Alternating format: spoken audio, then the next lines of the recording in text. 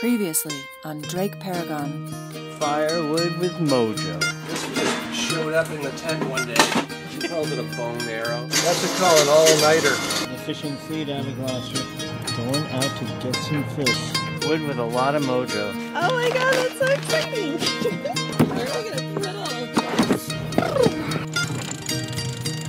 Remember when I installed this stove? Yes. How much fun that was? Oh yes. One of the wood lockers. It's so much cheaper than burning diesel or propane. It's fun. This is great. This is exactly what I need.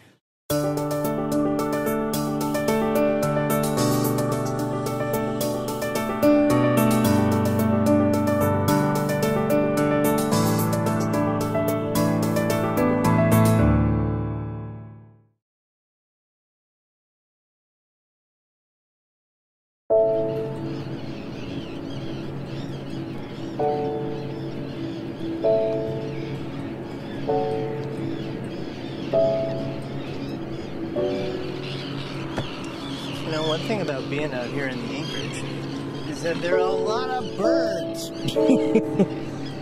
I have no idea what the racket's all about. Uh, you got like the cormorant birds in the water, and then you got the not seagulls, but these little white birds flying all around above. And they're making quite a racket. They're probably waiting for the next big fishing boat to go out. Unfortunately, they love the bowsprit. They, uh, there are two of them up there. Three of them.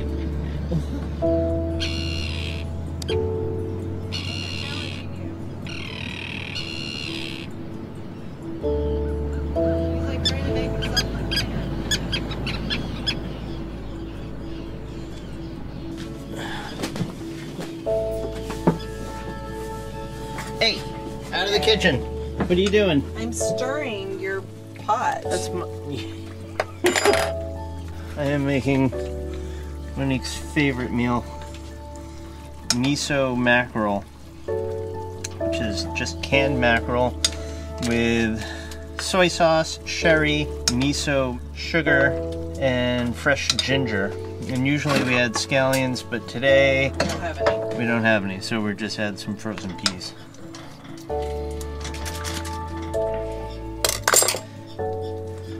They back on the thing? Where's the back of the thing?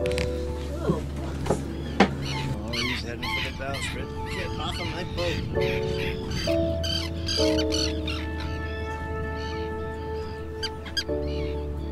What are you doing? Didn't I tell you not to hang out on my boat? Are you, you're gonna poop, aren't you? I know you're gonna poop. Yeah. You're not afraid of me.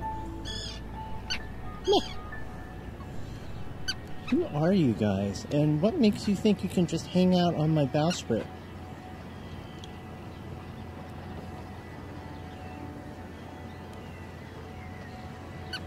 Here we are in Gloucester Harbor. It's a beautiful morning. Look around. Wow. That's too cute. So, you can't move in. Yeah. We're gonna come out to find like 15 of them in the dinghy, chilling out. They really like the bowsprit, huh? They're cute and beautiful and everything, but I hate to clean up their poop. So what's next? I don't know. See, this is the problem is a lot of it is in Danish. I actually think that 1231 1231. is more magnified than the 1212 and the 1213. Really? It's this one little section, like right there. In 1212 and 1213 are these vertical slices of the coastline. Okay, so then 1231 is actually a, a zoom in blow up magnification but it doesn't show everything that 1212 and 1213 does. Right. Probably by by a lot, a lot of coastline. Wonder why they have the zoom in on 1231. It might be a particularly difficult area to go around. I mean, look at it. hmm. Like, look at all of that. It might be a point of interest, and they're like, hey, you should go here. Mm-hmm. But if you want to come out alive, you should use this chart. 1212 and 1213 general. A small attractive fishing village of about 300 inhabitants. The harbor lies to the west of the promontory and there is a landing stage. Small store, water, and diesel. The surrounding area could offer some attractive cruising and an interesting inner lead route south to Quequeirtarsuatisac.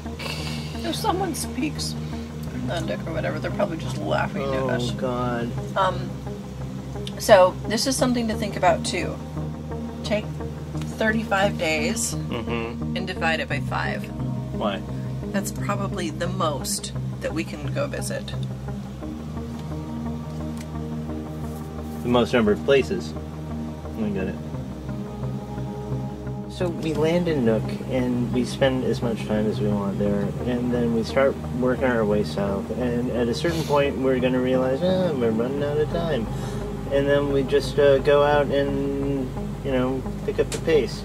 We probably need to be at Prince Christian Sound.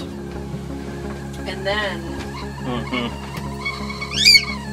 Like, we need to be waiting for a weather window. Mm-hmm. So, why don't we just get an overview chart and then just pick like five Mm-hmm. or seven places? What do you think I've been doing? Well, you I just spent me, the ha- You gave me 27 charts that take us all the way down the coast. Like, we're just, we're not even going to be able to do that. What do you think we're doing right now? We're going through the book. We're looking at the different places. I'm reading the descriptions of the Right. places so we So- can sort of figure out what's there. The We don't even have any better than the idea, and I am like. "Ah,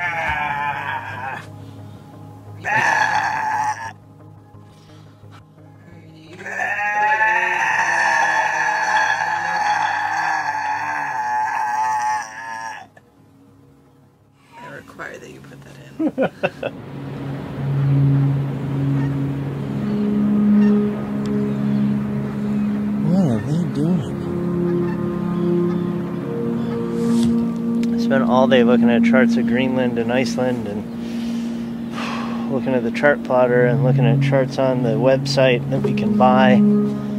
It's a little overwhelming. It sure is beautiful to be here.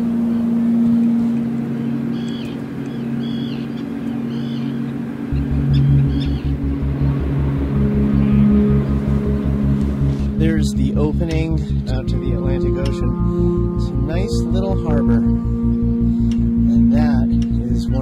fishing boats just coming in. Fishing boats are just coming in non-stop, going in, coming out. A lot of them pull in at this fish processing plant right behind us.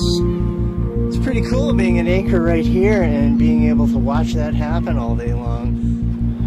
I'm going to pick up my crew Ina in Boston in about a week. He's going to join us for six months. And uh, on June 1st, we're going to push off from here and sail to Nova Scotia.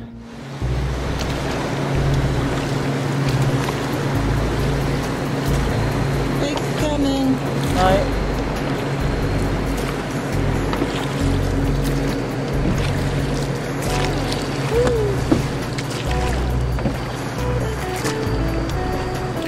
Look at those boats over there on the starboard bow. I think those are the biggest fishing boats in the harbor. They drag huge nets. The bridge deck looks like a control tower. Mm-hmm. Look at the lights on that guy. I wonder where they're on now. It's bright daylight. Those lights are still blinding. So those can go in like no water at all. Yeah, not much under the water line. They're real fast. It's amazing. That thing just backs up in there, and the whole platform lifts up. So they must do that every time, eh? I don't know. I haven't seen that one going out of the harbor. I've seen some that look like that going out of the harbor. I don't know if it's that one. Atlantic Cat.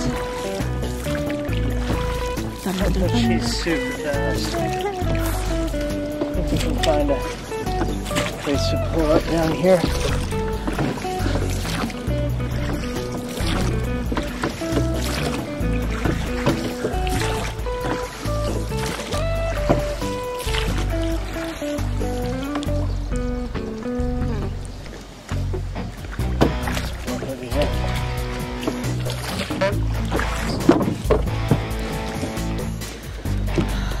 Gonna go get propane. Propane and oil.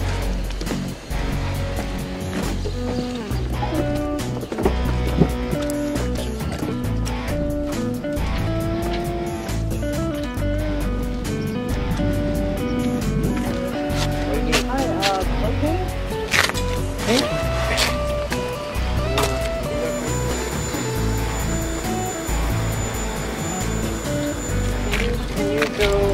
to him and get the ticket or whatever? I'm gonna go put this in the dinghy. Okay. About twenty dollars and four cents. Sounds wonderful. Okay. I think every new town we go to makes me wish we'd spent less time in the previous town. But that's good. It means they're all good, right? So, what do you like about Gloucester? I haven't really seen as much of it as I'd like to, but just it's very walkable, it's very cute, it's very quaint, beautiful. It's a commercial boating town. And it's got Rose Marine.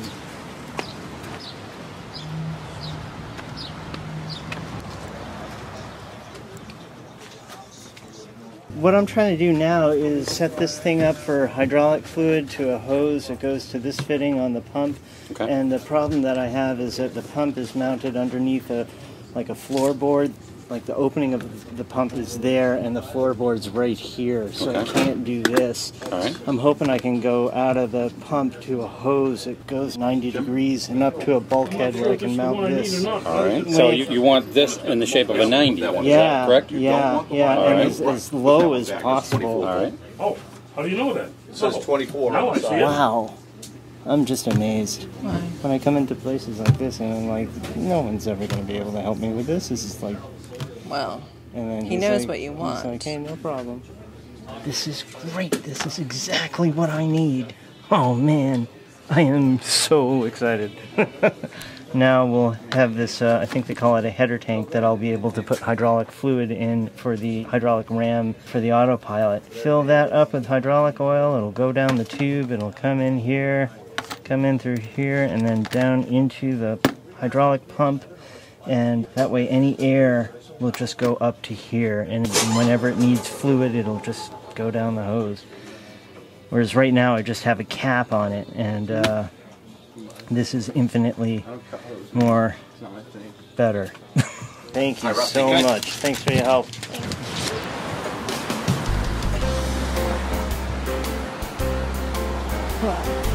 What? Gloucester. Where do I get one of those? really? Show me the way.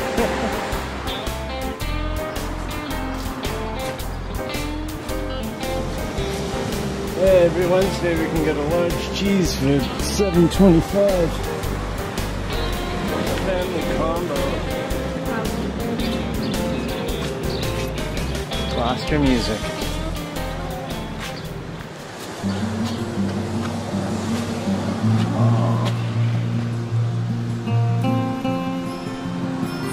Hi, Kitty. Hi.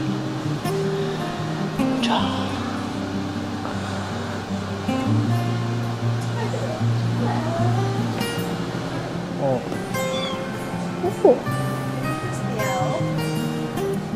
No, that was me. Mr. Pumpkin. Who are you? Yeah, this way, yeah. Wow. It's a beautiful sound, and you're not even playing a chord. Somebody was just in here playing it, and he was playing it really well. And but it only has four strings instead of six as Right. a guitar, and there's a whole little ukulele section of books there. That's fun. What? That's a, a G7 chord. Can you do that? Yeah. Wow.